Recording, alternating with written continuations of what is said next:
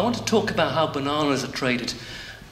This, this is a case study which I worked up with the Guardian newspaper. Some of you might have seen it. It filled the entire front page of the Guardian newspaper and two full inside pages in November 2007. The study itself took um, just over nine months. And we looked at how bananas are traded on paper out of Latin America.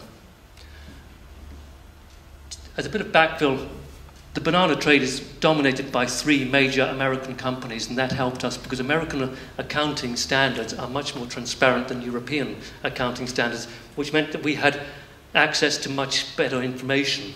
Physically, they're traded straight out of the uh, exporting countries, in this case, uh, uh, Honduras, to Britain.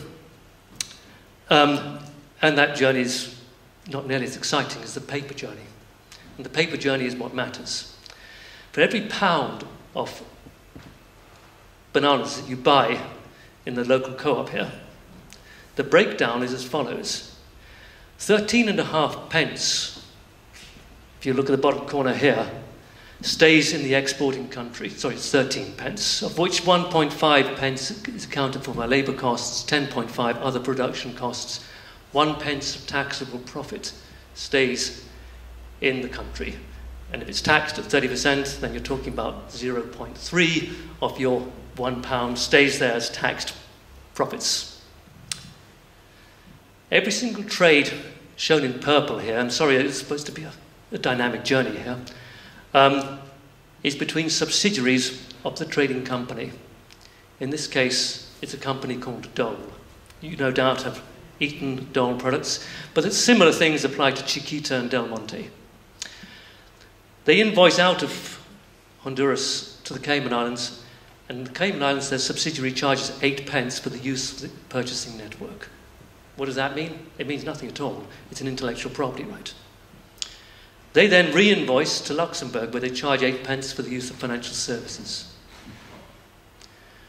That subsidiary then re-invoices to Ireland, where four pence is charged for the use of the brand. That might help you understand why your bananas are labelled doesn't cost four pence, but by labeling it, they can demonstrate there is a brand.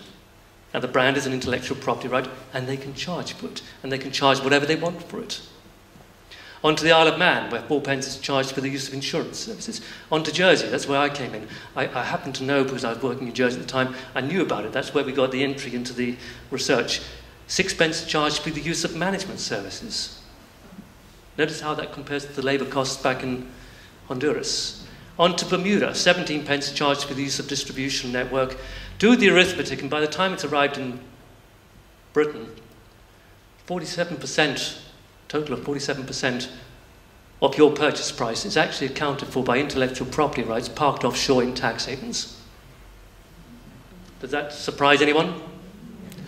What's happened here is a totally legal process called transfer pricing. It happens not just for bananas, every single product, every single service that is traded across borders is transferred between subsidiaries of multinational companies, and that accounts for the majority of world trade, goes through this kind of process.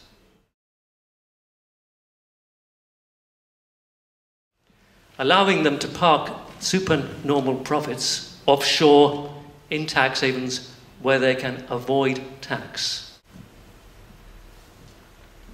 A Bank of England estimate, which was never published, but which I'm privy to, said that at least 90% of cross border investment into other countries is routed through tax havens. And finally, I'm, and I'm going to give you some figures for this. At least one third of global wealth of the super rich is held offshore. At least one third of total wealth is held offshore by the super rich in tax havens. This is the breakdown of the tax havens we enumerated in 2009. If you want to see the list, there are 60 here.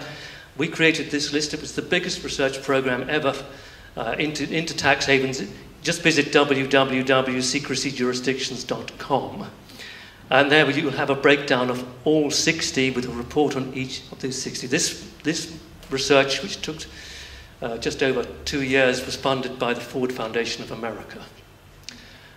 If you look at the, the ones that are highlighted in yellow, those are British jurisdictions. They fly the British flag in one way or the other. You'll see the City of London on that side. Vanuatu was a, uh, was a British colony. It is, remains, under, in many respects, under British law. Turks and Caicos Islands, St. Vincent and Grenadines. Work your way through that list, you will find that Britain's tax havens account for, for exactly one half of all of those enumerated. We're being kind there because we haven't included Ireland, which uh, and its tax haven activities are deeply rooted in British common law, and Hong Kong, which of course is now a major Chinese tax haven. The, the way I see it, Britain is the world's biggest player as a tax haven, with the City of London sitting at the core of this process.